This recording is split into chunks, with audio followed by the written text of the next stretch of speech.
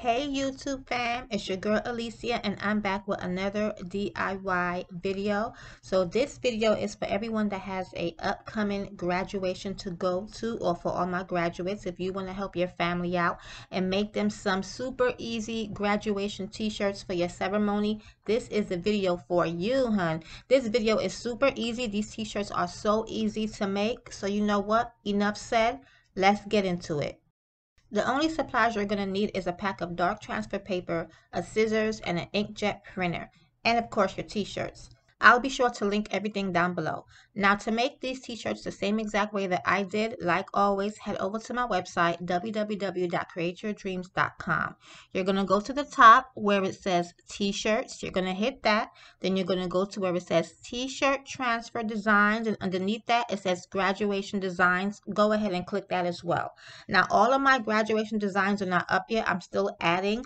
But the ones I use in this video, you're going to scroll down to where it says Proud Mom in golden black. I also used it for Proud Dad as well. And then I also did the 2022 in the gold color. So you can pick whether you want PNG, JPG, or SVG. So go ahead and pick whichever file you want and add to cart. So I'm going to add Proud Mom and I'm going to go back and I'm going to go ahead and get my 2022 in the gold color. And my coupon code for my graphics because mostly all of my graphics are buy one get one free.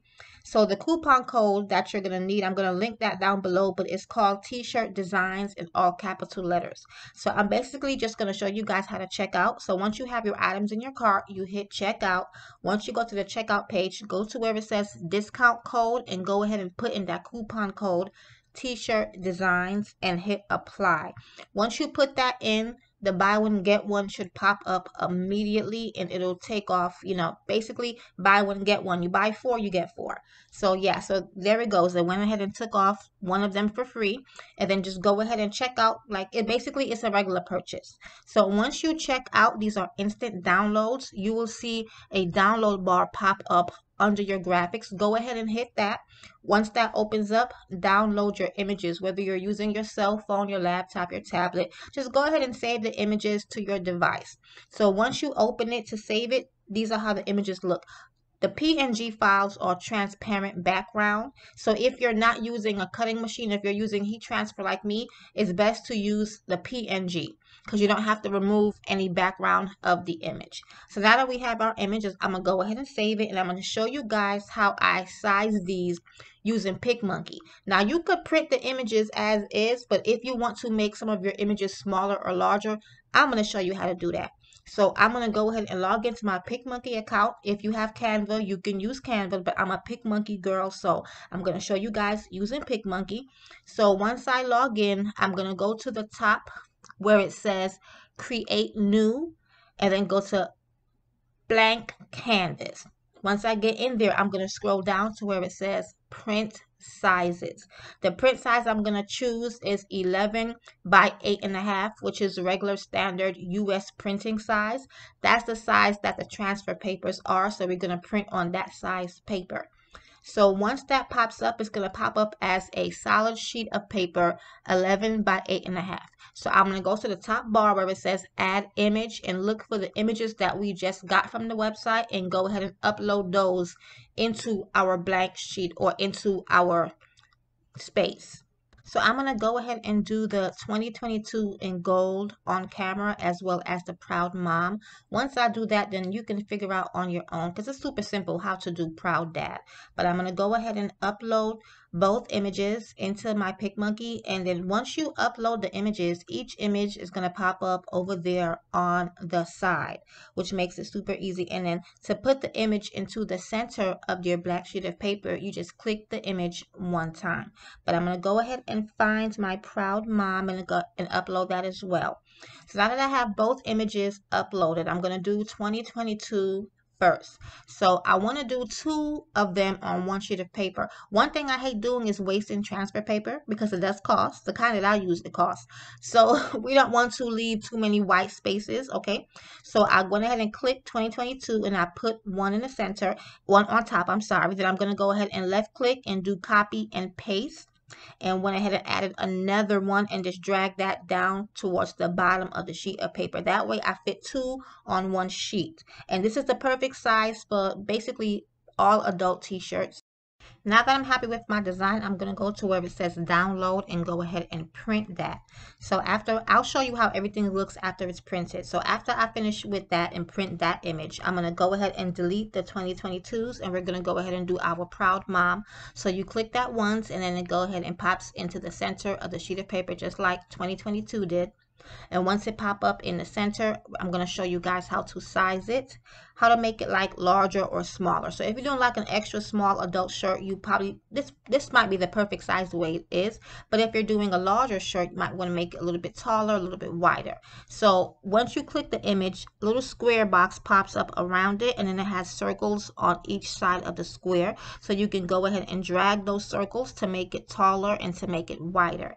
Now one thing you don't want to do is make it too wide because you don't want to basically go too close to the edge of the sheet of paper on all sides because when you print it it'll cut off some of the image so this is perfect i'm going to go ahead and print this as well and come back and show you guys how everything looks once it's printed so I printed everything on my inkjet printer and this is how it came out. The black looks dull because it's not ironed on yet. Once you iron it on, the black becomes really dark. But this is how everything came out. Here's our 2022 with both of them on one sheet, which is a perfect size for our t-shirts.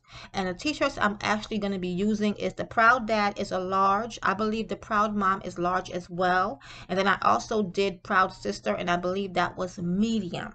So yeah, these are perfect graphic sizes for our t-shirt sizes. So I'm going to go ahead and cut these out by hand, and I'm going to speed this up a bit okay but i'm going to come back and show you guys how everything looks when it's cut. Now when cutting these out because i am using white t-shirts you don't have to cut into the black outline. You can kind of cut around it and leave a little bit of white trim on the edges of the design because the white is going to blend in with the white t-shirt.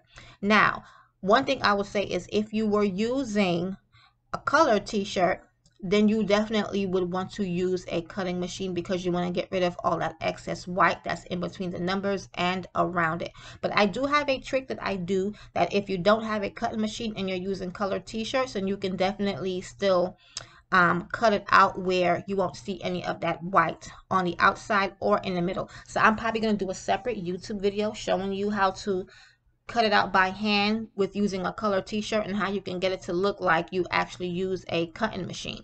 So definitely stay tuned for that. But i'm going to go ahead and finish cutting these out and then i'm going to go come back and show you guys how it looks and then we're going to get ready to iron these on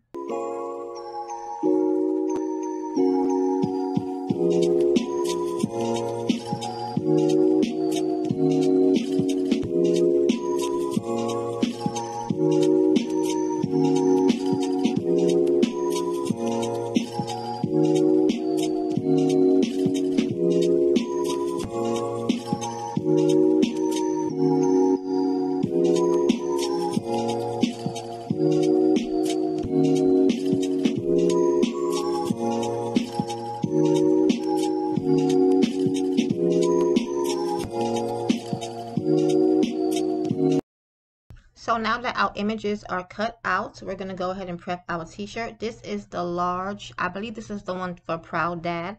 These t-shirts I got from Walmart. They must have been on sale for about $3. So yeah, I'm first thing first, I'm going to go ahead and get a lot of these creases out. You don't want to do a iron on on a wrinkled shirt because the wrinkles would basically your image is going to iron on wrinkly.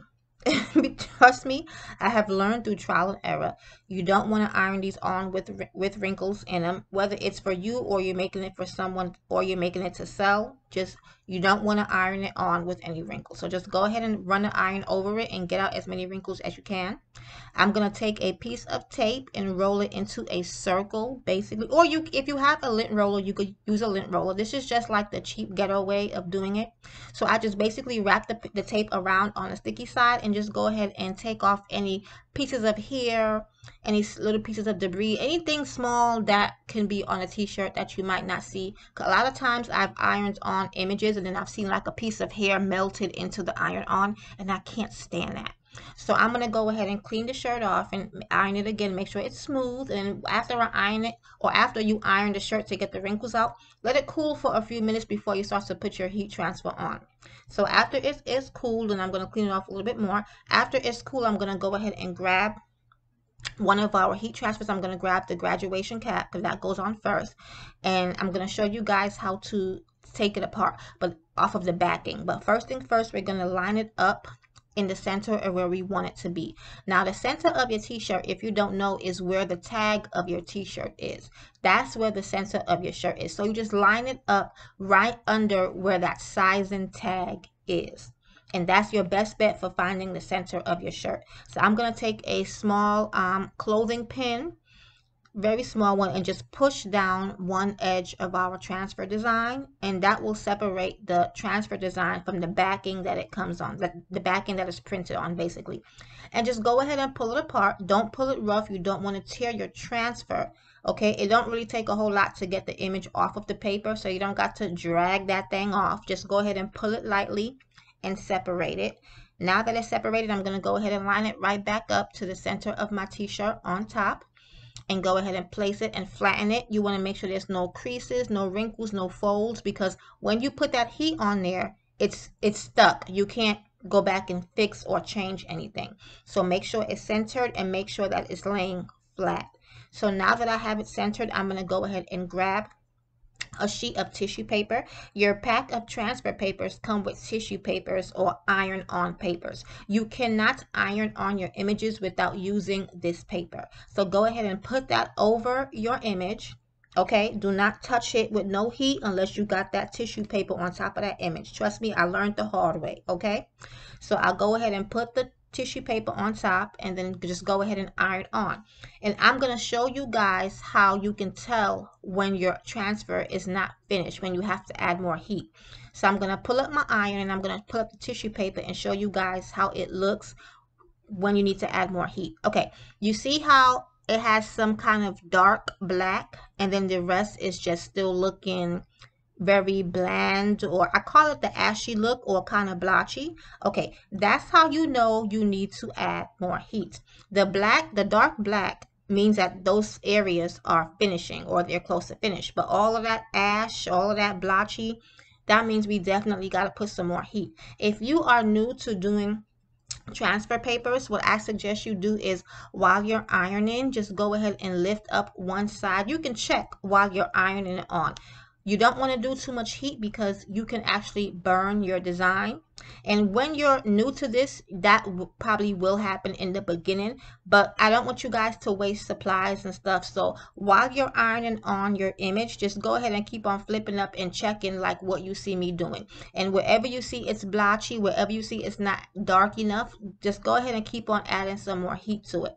So this doesn't take long to be honest with you. It takes about a minute, maybe maybe a minute and a half to do a full paper design on a t-shirt but it does not take long. So i'm just going to go ahead and apply more heat and then i'm going to show you guys how it looks once it is done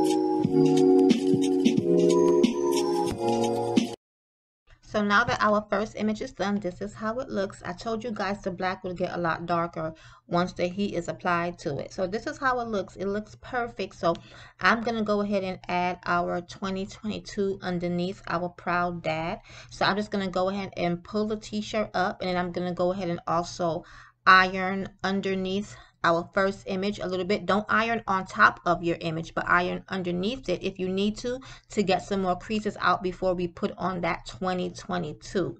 Okay?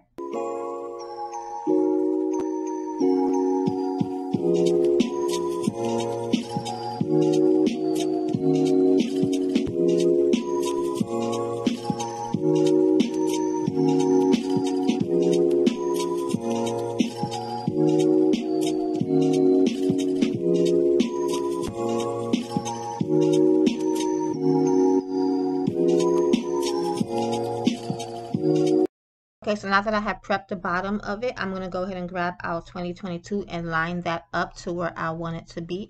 Now, I am using my ironing board. One thing I suggest you use is a larger space or larger surface to do this. Don't use your bed. You want to use a space that's sturdy.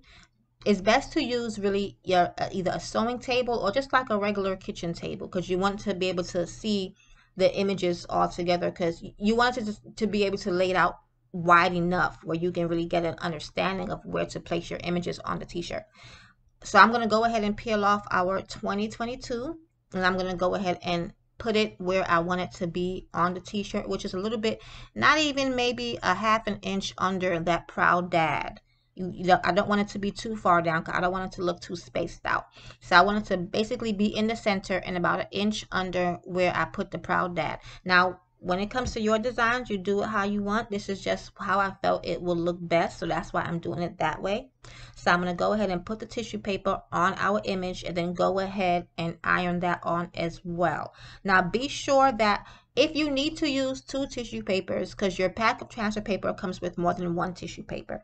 If you need to use two so you can cover up your other image, go ahead and do that. But since I've been doing this for some time now, you know, I just know to just iron on our bottom image and that's it. But if you want to be on the safe side, go ahead and cover up your top image with a separate piece of transfer paper as well. So I'm going to just go ahead and iron on the 2022 and then I'm going to come back and show you guys a full image of how the t-shirt looks hung up.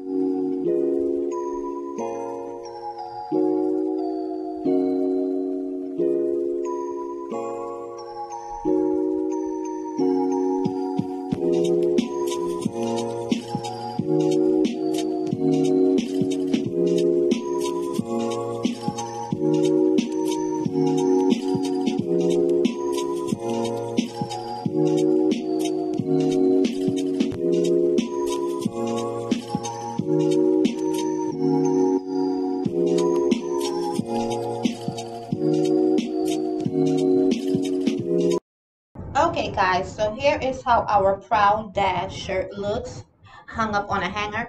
This is actually the large size t-shirt and it's by a company called George. I got this t-shirt from Walmart. So yeah, this is why I like using two separate papers to do the design because it looks really large and really nice. If you only use one transfer paper, the design is going to come out really small. It's okay to use one if you're doing like a child's t-shirt, but for an adult size t-shirt, you definitely want to put the designs on two different pages of transfer paper. So yeah, this is how the large t-shirt looks. It looks really, really good, really nice. Looks like you went to a t-shirt shop and got this made rather than making it on your own. But yeah, and the supplies altogether to do one t-shirt, when you narrow it down, the t-shirt costs one sheet of transfer paper and your printer it probably run you about four dollars to do one t-shirt as opposed to paying fifteen dollars or more to get a t-shirt made. So yeah these are how the t-shirts look once i package them in plastic and t-shirt bags and put them on my sewing table so yeah i'm just gonna leave you guys with this um, i hope you enjoyed this video definitely give this a try go ahead and subscribe if you enjoyed and give me a thumbs up i will definitely be putting up more diy t-shirt designs for you guys if you're into this so yeah definitely check out my website for my my graphics. I'll leave as many links as I can down below. So thank you guys. Congratulations to all my 2022 graduates. You did it. All right. God bless and take care.